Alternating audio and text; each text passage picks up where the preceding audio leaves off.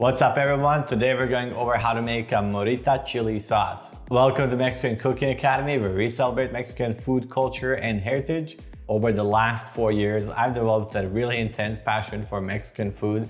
So in September 2020, I decided to make the move from California down to Mexico, pursue that passion and bring it to the rest of the world. And that's what we're gonna be doing today.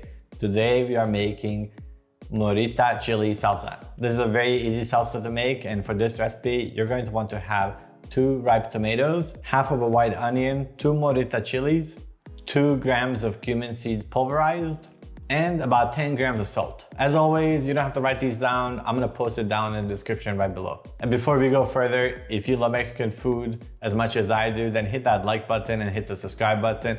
That's gonna send more of that content your way. Start by roasting the cumin seeds in the pan and you're going to know when they're done, when the fragrance starts to become noticeable and they start to turn a golden color. Next, because I forgot to turn on the camera for this step, actually what you want to do is bring a pot of water to boil and we're gonna add the morita chilies right into that water and we're gonna let them hang out there for the next 5-10 minutes while we get the rest of the ingredients ready. Meanwhile, cut the tomatoes and the onions roughly in half and add them to a hot pan.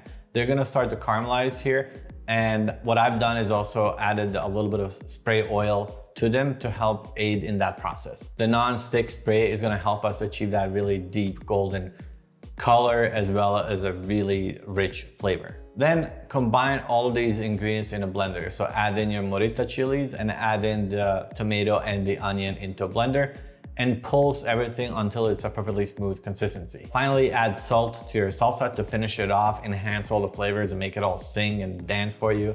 And that's it, you're ready to enjoy your salsa. The salsa is really wonderful for making chilaquiles for breakfast if you're doing that. And if you're wondering how to make that, I have a recipe for that and I'll have a link down in the description. But also you can go to my channel, Mexican Cooking Academy, and you can find more details about how to make the chilaquiles. I hope you enjoyed this recipe. If you did, hit that thumbs up button and hit the like button. And also go to MexicanCookingAcademy.com and sign up for my newsletter. That's gonna give you first look at all the new content that I'm posting. And it's gonna give you access to some exclusive content as well. If you have questions or comments about this recipe or any of the other ones, leave a comment down below and let me know. I get to all the comments and respond to everyone. That's all I got for you today. Until next time, live long and prosper.